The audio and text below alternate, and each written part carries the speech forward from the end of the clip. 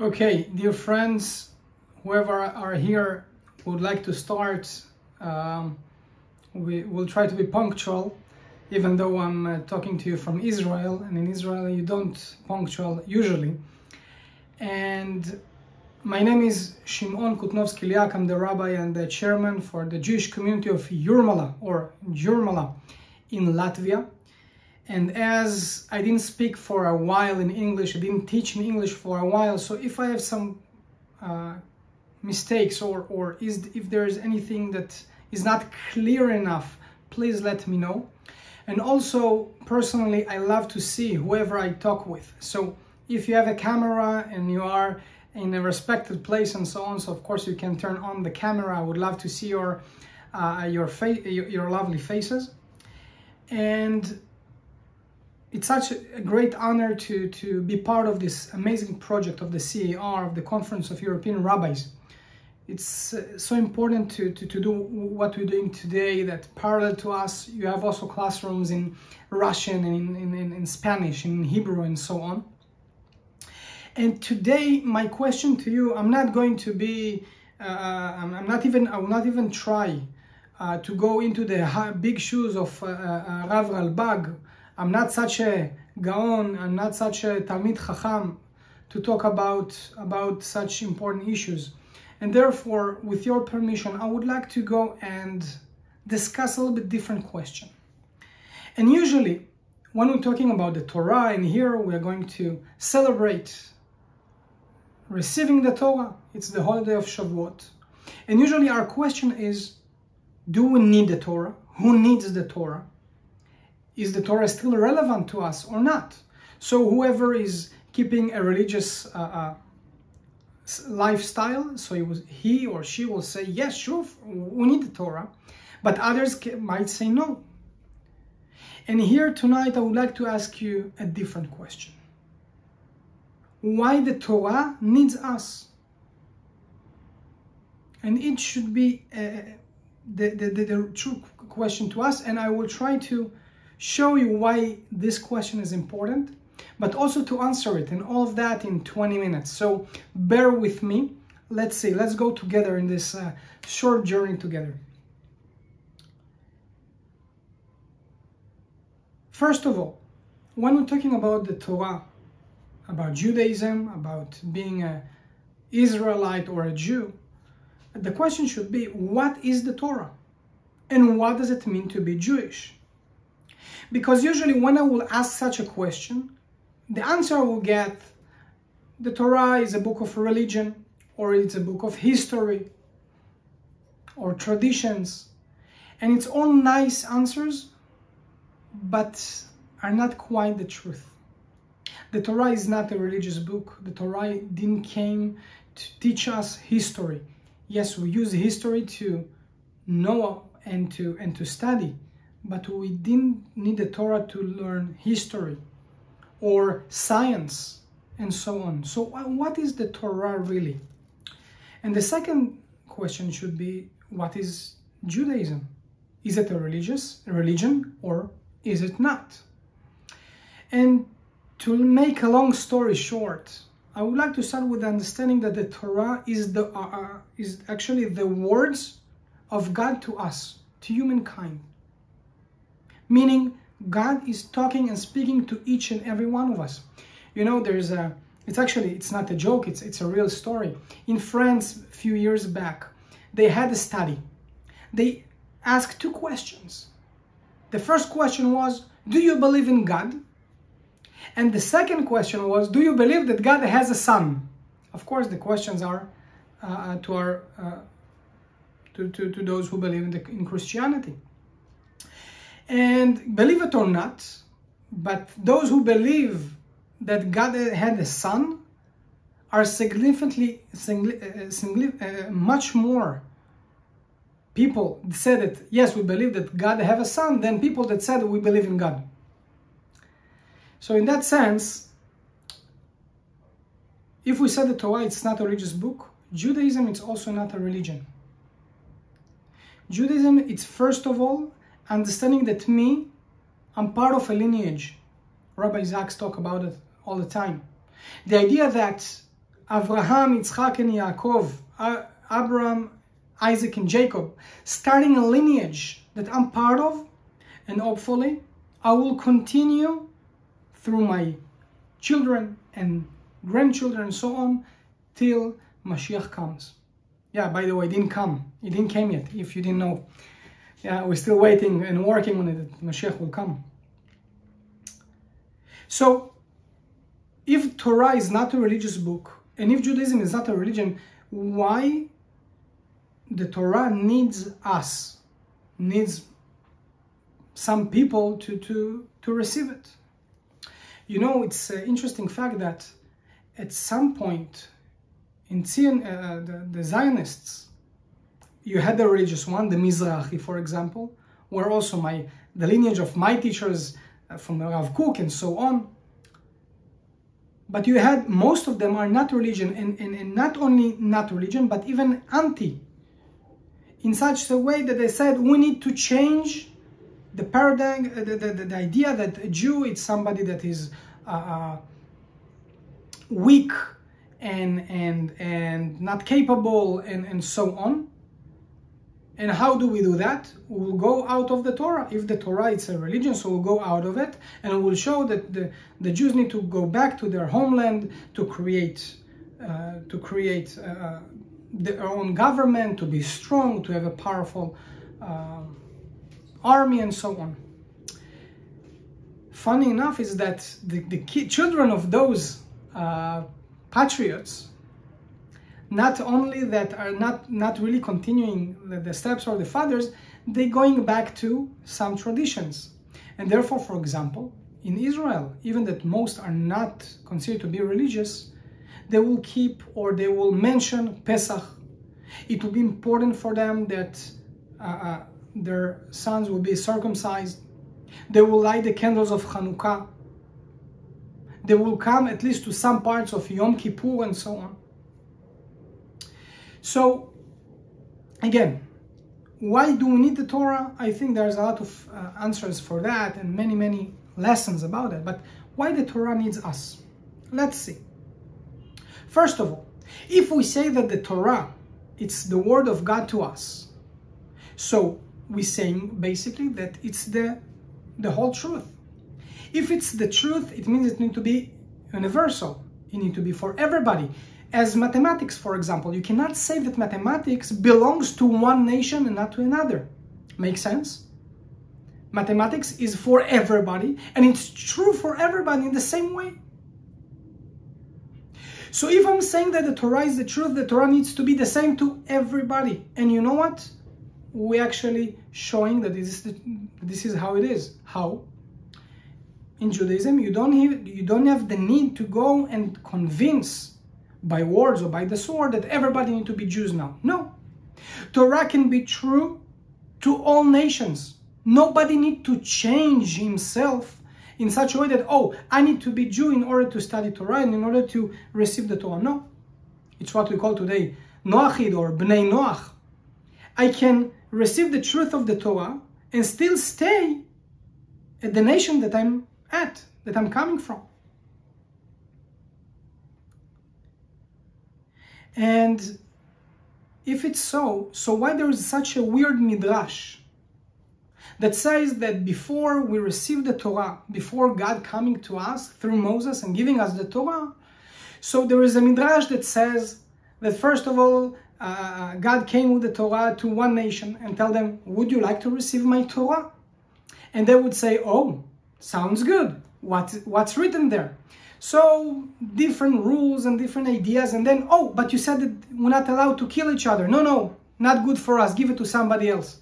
Okay, so God take the Torah and come to the next nation and, then the next nation asking, so what's what's written in the Torah? And again, God says different ideas and different uh, um, rules that the Torah gives and say, oh, oh, hold on. We're not allowed to steal from each other. No, we don't want to receive it. And so on and so forth. God going from one nation to another. And eventually nobody wants to receive the Torah. What God doing? Kafahar kegigit, it says. And we don't have a choice. God giving it to the nation of Israel. You, you want it or not? Nobody asks you. Here it is. and uh, move along. And the midrash, the, this midrash is a little bit sad actually, because if we say the Torah is the truth and it's the word of God to us, how come different nations didn't want it? It doesn't make sense. It doesn't really make sense. And even harder than that, the midrashim, our sages, are saying that Torah was created before the creation of the world. Not the Torah that we know today. If you go today to a synagogue, you open the scroll, you have written Torah, not in such a way, but the, the essence of the Torah was created before God created this world. If so, how come Adam and Eve would not receive the Torah? How come? You say it's for all humanity?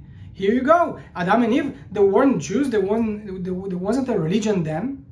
So give the Torah to Adam and Eve, and that's it. You're great. You're doing well. You're giving, you're giving it to all humanity.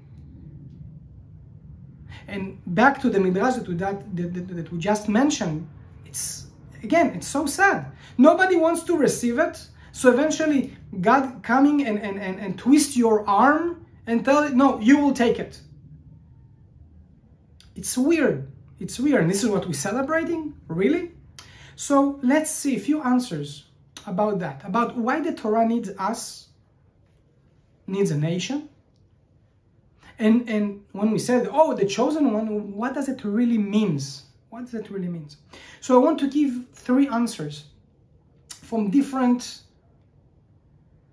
aspects of understanding the Torah. And I will actually start with the level of the study of Kabbalah. So the next idea and in the first answer we take mainly from the writings of the Ari, Rabbi Yitzchak Luria Ashkenazi, and you can find it in uh, different teachings that they're talking about it. From the point of view of Kabbalah, Adam and Eve are the sum of souls of humanity. Adam is the sum of all male and Eve, female. And through their physical action and, and, and communication and connection, and there they have kids, so it's Cain and Hevel and then Shet and then so on and so forth, those souls or those roots of souls starting to have a physical body and for different reasons. We're talking about it in different lessons that we have, thank God. each soul, each root of a soul, have its own value and purpose in this world. And it says that, it says that there are 600,000 roots of souls that their work in this world, their purpose in this world, it's the spiritual, spiritual aspect for the whole humanity. Meaning, for example, you have many doctors. For example, my mother, she's a doctor, she is a dermatologist. So for some questions, she would be the most important doctor.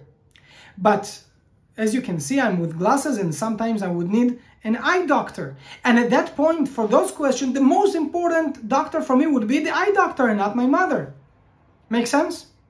So in that sense, from all those roots of souls, that each roots have their own purpose in this world, 600,000 souls or roots of souls had the, the, the, responsibility to reveal God in this world and reveal how to connect with God for everybody else. Doctor for this specific question. And the first time that those souls are uh, coming to realizations, it's the, um, it's the moment before the flood. It's the generation of the flood. But they are messing up. They're not doing their job. They're actually doing the opposite of what they're supposed to do. And therefore flood comes and eliminate their bodies. But the souls are internal. And therefore Ari said they will come again. And next time those souls coming, it's already the generation of the Babylon uh, uh, tower they're supposed to do something very, very specific, but they're doing it wrong. And again, coming out and will separate between them. Third time that those 600,000 souls are coming, they are coming through a specific family. Maybe you, maybe you know this family. It's the family of the last Hebrew man. Abraham, Yitzchak, and Yaakov and his 12 sons. And this family of Jacob, the sons of Jacob, the sons of Israel, that are eventually would go to Egypt, would become slaves in Egypt, would stuck there for more than 200 years, and eventually will go out, out of Egypt, Exodus, and will be able to receive the Torah on Mount Sinai, not for them, for the entire world. So the first uh, uh, part of answer, why the Torah needs the Jews or the, the nation of Israel, is that those uh, this group of souls mess it up twice and need to go for the third time through a very specific family. As Rav Drukman, Alav Shalom, a huge rabbi that passed the passed this world this year, he used to say Abraham was the one who came to monotheism by himself. Monotheism that it's not logical actually, it's much more logical to believe in pantheon of, of gods. Because in this world, in this material world, you have a hierarchy, right? You don't go to your president, you go to some officials and then you go to your if you are in the states so then you go to your senator and so on. You, th there is hierarchy. You don't go straight to, to, to the big boss right? So pantheon of, of, of gods would make more sense to humankind to go by himself to transform himself to get into monotheism. We needed we needed to go through him specially. This is how it says Rav Drukman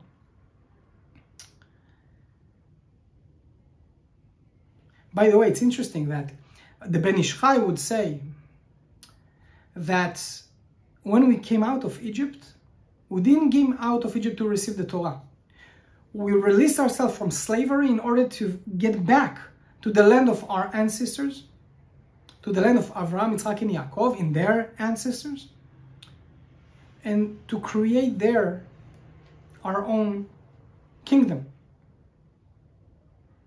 The Torah was a gift, was a bonus, was a surprise on the way in order to strengthen our connection with God and to realize and, and to bring to realization our our our our path and and and our calling in this world. The Rambam would say something that I think very relevant to, to our question. Adam and Eve didn't receive the Torah because before we can receive the Torah, before we can receive the words of God, in order not to not to use them in the wrong way, we need first of all to build the first level, which is derech eretz, which is ethics and moral. And this is what humankind did for 26 generations from Adam and Eve till Moses. It wasn't perfect. It's not today's morals, but also they didn't have the Torah before. But after 26 generations of working on themselves and having some morals, uh, moral ground, then finally we ready to for, for the second level, for the second floor of our building. And, and then we can receive the Torah. And what would be more appropriate than the nation that the, for the first time could show that we can get out of slavery and change the rules of nature as humankind knew them back then. Right? Frank, Frank Sinatra, let my people go. I mean, it, it was for the first time in history. It was a revolution. So even from the perspective of moral and ethics, it just works. And eventually, the third answer will be from the book of Kuzari, Rabbi Yehuda Levi, which is, he lived a little bit after the Rambam. And he says that the Torah, yes, it is universal truth. and therefore it need to be given particularly to someone. Because if I have goods and I just give it to everybody, nobody receives it. You want that some that everybody will receive it, you give it particularly. You, you need to have the first one to receive it, to understand it, to digest it, and there and from there to give it uh, uh on a more broad spectrum because the fact that I, that somebody gave me something it doesn't mean that I received it. If I will come to my uh, uh, to my youngest son to Yohanan he is only one year old and I will give him the keys to a new brand car. Was it a giving? Maybe I gave him something but did my son be uh, was able to receive what I gave him? No If now a scientist will come and will teach my kids mathematics, he can give them a lot, but they are not ready to receive it. And therefore, first of all, we needed to go through so many generations, or as the Ari said, uh, uh, uh, reincarnations, in order that eventually we'll be able to receive what, what, God, what God gives us. And when God gives it, you need to give it to particular person or a nation in order that it will go eventually to everybody else. And we see as today, all monotheism, all monotheism religions are based on the Torah, but not only on the Torah, they are based on receiving the Torah, the Torah on Mount Sinai. Because all religions or you believe that there is a prophet or there is a person that God talks to them? And this is the truth or not? And this is your individual question to believe or not to believe. I can there are no proof. The only time when God talks not to individual but the whole nation it's on the Mount Sinai. And we can see it in the Torah. Before Mount Sinai the Israelites, they don't believe in Moses. What do I mean? They believe that he's their leader. He's the leader that helps them to, to get out of Egypt. He's a national leader. He's a political leader. But they don't believe, they don't perceive him as a prophet. When they willing to perceive him as a prophet, only at this at this moment at this moment of receiving the Torah on Mount Sinai, when it says in the Torah, "Vayaminu Ba'Hashem uveMoshe avdo. They believed in God and believe in His servant in Moses. Only this moment. So this moment is actually the key to all other religion. That if you ask them, can you show me that God talked to us? They said yes on Mount, on Mount Sinai. Therefore, for the nation of Israel, do, it's the question that, that does God exist or not is irrelevant why? Because he talked to us. Therefore, you can say, I believe, you can say you don't believe, but it doesn't matter because he spoke with you, with each and every one of us. And therefore, if we say now why the Torah needs us, for all those reasons, to continue the thought of creation. And therefore, this coming Wednesday, uh, uh, Thursday night, Friday, and, and those of us in diaspora, also Saturday. It's a question for us, and, and, and, such a beautiful question for us. Do we willing to receive it willingly? And do we understand why we should receive it? And if it's the words of God to each and every one of us, maybe we should find the time to study, to read again, to ask questions and to understand that by us studying, understanding more, having more questions, receiving answers, and practice it, we'll be able truly to get to the destination that we came, uh, uh that, that, that, we born to, uh, to this world to, to, to get there. And by, and, and by that, really to get to what we can call a true tikkun olam. By doing the tikkun, doing the uh, correction in my personal life through the Torah and through me, through that to the entire world. Thank you so much for being with me. And uh, uh I guess we have five minutes for questions before um, the Honorable uh, Rabbi will continue the next session. So I would love to hear you. Thank you.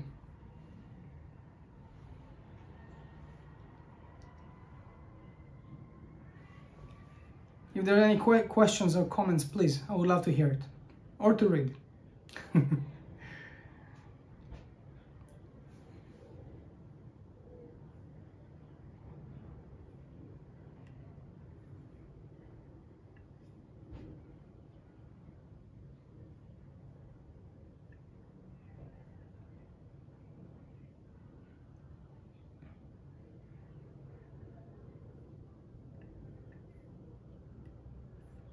Okay, so if there are no questions or or um, or you want to, uh, to ask after and not in front of others, so please feel free to uh, to write or call. And if uh, if we finished here, so again, thank you so much for your time. I really appreciate it. I appreciate for you, all of you being here with me in this uh, lovely evening, and Chodesh Tov to everyone. And uh, soon enough. Uh, uh, soon enough we'll start the, the next session. Thank you. Thank you.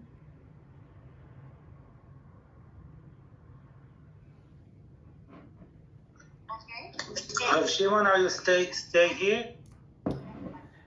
Um, I can stay for a bit, but then I need to go to help with the kids. So Yes. Please wait a few more minutes. If someone want to ask some question. sure, so I can stay. Anyway, Sure. I see Rav Roberts already with us. Yes. So, Rav Roberts, if you are ready, oh, you can op- open also the mic. Thank you very much.